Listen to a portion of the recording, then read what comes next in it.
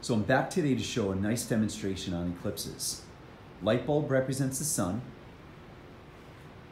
the earth on a tripod. You'll see the nice shadow that's produced. And I'm gonna use the moon is going to be a little styrofoam ball on a stick. And again, you can see, see how nice the shadows are gonna be created here. So what we're gonna do is we're gonna take this first phase, the first phase of our cycle of phases will be our new moon. And the new moon, when it gets in between the earth and the sun, that's gonna be beginning of our cycle of phases. It's also gonna give you an opportunity for a solar eclipse, an eclipse of the sun. So you have a really nice shadow cast on the earth. Let me show you from the moon perspective how the moon can completely block out the sun. And that shadow is going to be cast right on the earth. Solar eclipse has to happen during the daytime because it's the only time the sun's going to be out.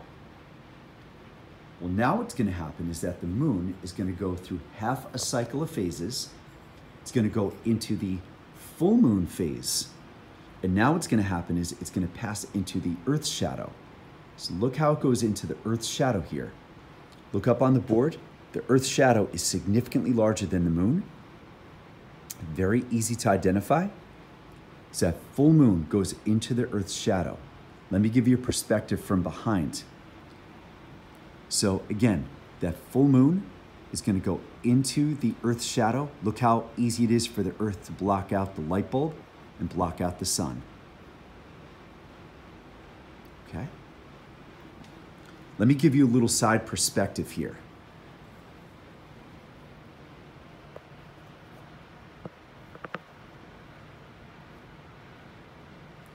Sun's coming in from the left. This is the new moon phase. The new moon phase is going to block out the sun during the daytime. It's going to produce a solar eclipse. Two weeks later, the full moon phase is going to go into the Earth's shadow and produce a lunar eclipse. Now, these do not happen every single month because sometimes the moon is inclined in relation to the Earth, sometimes the moon is declined in relation to the Earth. So, a lot of times these shadows are missed. The moon's orbit has an incline or decline in relation to the Earth, and a lot of times the shadows are missed. That's why eclipses do not always happen twice a month. That's why they tend to be a little bit more scattered throughout the year or throughout the decades. Because the moon sometimes is missing the Earth's shadow,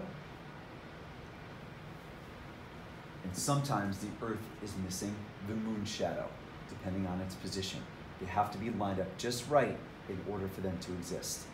Okay? Hopefully, this is something that you can use in class, and thanks for watching.